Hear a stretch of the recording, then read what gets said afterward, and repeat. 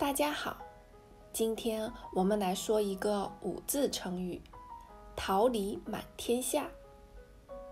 每逢教师节，我们最常听到的一句贺词便是“桃李满天下”，用以比喻老师培育的学生或人才众多。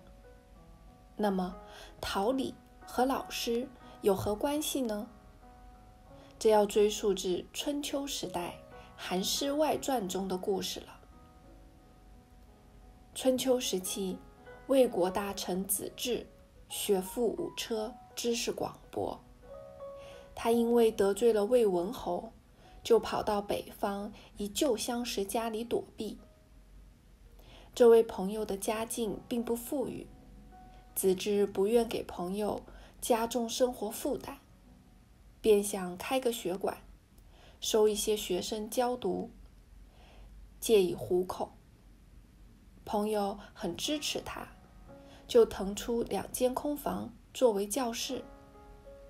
子至所收的学生不分贫富，只要愿学的，都可以拜他为师，一视同仁。这个学馆里有一棵桃树，一棵李树。凡是来上学的学生。都跪在桃李树下认先生。子至指着已结果的两棵树，教导学生们说：“你们都要刻苦学习，就像这两棵树一样，开花结果。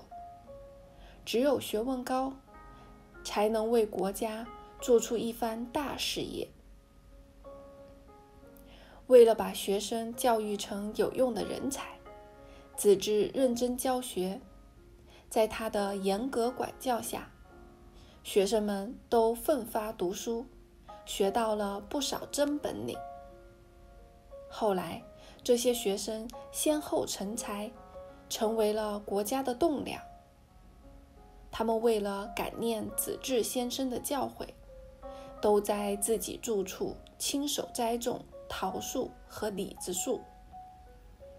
子至到各国游历时，碰到了在各国当官的学生，并看到了学生栽的这两种树，便自豪地说：“我的学生真是桃李满天下，一个个都很有作为。”从此，当老师的就以桃李代称学生，并把学生多。称作桃李满天下了。希望这个故事对大家学习成语有所帮助。喜欢的朋友也请订阅、留言、分享。